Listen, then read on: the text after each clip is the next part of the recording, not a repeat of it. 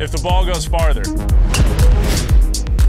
and it feels better and it spins more and stops closer to the hole, then why wouldn't you play it?